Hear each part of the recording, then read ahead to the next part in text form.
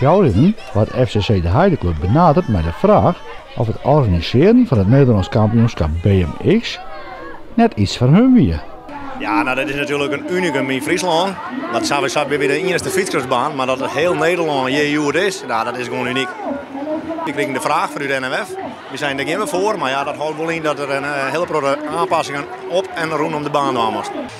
En uh, onder andere de startheuvel, die moest naar een bepaalde hichte wat vanuit de NMF eigenlijk wel wenselijk is. Nou ja, en de kantine die weer uh, nog helemaal klaar maken in het laatste hier. Ja, dat maakt het uh, plaatsje compleet, inclusief het uh, terrein in richting eromheen.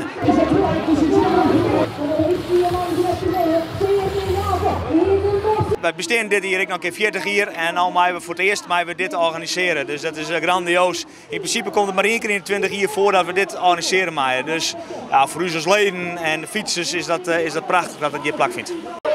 Wat, uh, wat ga je straks fietsen? De hele finale. En uh, hoe gaat het? Ja, in principe wel goed.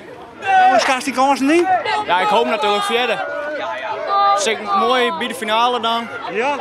Dus ja, ik hoop dat ik verder ben. Hey, succes. Ja. Hoeveel rieders doen er nu het mee?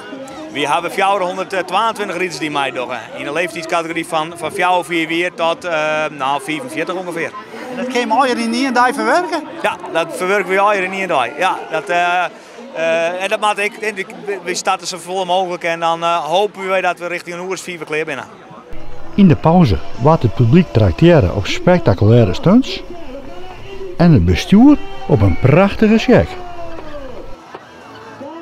Johan, gefeliciteerd met deze check van 7.777 euro en 77 cent. Na de pauze gewoon de finales.